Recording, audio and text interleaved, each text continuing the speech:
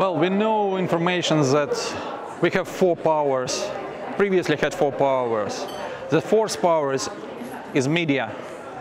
And some people in previous century think that media is dangerous, uh, it can bring a lot of bad things. But now this power, these four powers are balanced.